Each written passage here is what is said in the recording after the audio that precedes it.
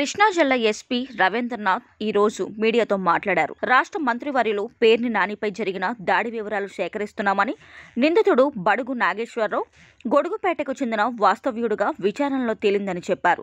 దాడికి పాల్పడిన నిందితుడు మద్యం మత్తులో ఉండటం తన వద్దనున్న తాపీతో దాడికి యత్నించినట్లు విచారణలో వెల్లడైందని తెలిపారు. నిందితుడిని అదుపులోకి తీసుకుని పూర్తి విచారణ చేస్తున్నామని విచారణలో ఉద్దేశపూర్వకంగా చేశారా లేక మర ఏదైనా కోణం ఉందా అనే విషయాలు సేకరిస్తున్నట్లు జిల్లా ఎస్పీ రవీంద్రనాథ్ బాబు తెలిపారు.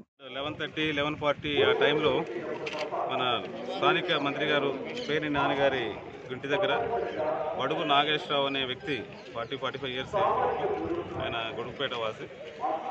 అతను మినిస్టర్ గారి ఇంటి దగ్గరికి పరామర్శ చేసేదాని కోసం ఈరోజు వచ్చి వచ్చినట్లు వచ్చి మినిస్టర్ గారి పైన దాడి చేసేందుకు ప్రయత్నం చేశారు.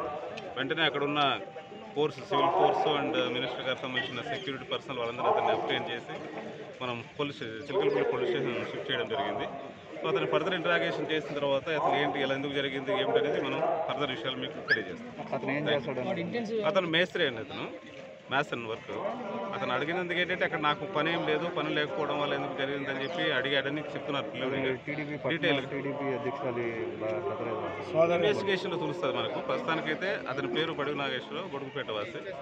అతని ఇంటరాగేషన్లో ఫర్దర్ డీటెయిల్స్ వస్తే అది మనకు అప్డేట్ సార్ అక్కడ మన వాళ్ళు ఉంటారు కదా సార్. మరి అందుకే వాళ్ళే చేతిలో చేతిలో ఇలా.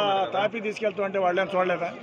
చూశారట. వాళ్ళు మామూలుగా ఆ రోజు ఈరోజు ఒక ఫంక్షన్ తర్వాత కార్యకర్తలందరూ కూడా అక్కడ ఆయన మన మనిషి గారి దగ్గరికి ఎవ్రీడే రావడం మాట్లాడడం పనికి పోతూ పోతూ ఆడ వచ్చి పరామర్శ వచ్చాడని చెప్పేసి చెప్పడం జరిగింది.